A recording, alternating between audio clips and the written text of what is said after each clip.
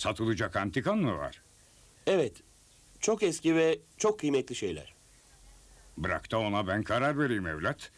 Bu iş benim işim. Ver bakayım. Verim ama beni kandırmaya çalışma. Kandırmak mı? Bu bizim lügatımızda yok evlat. Ne demişler?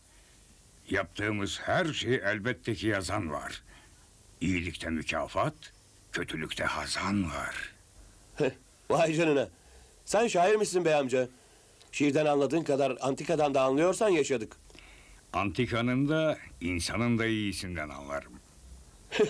İyi insanlar da antikalar gibi küpü kokar yoksa. Hayır evlat, hayır. Ham insanlar küf kokar.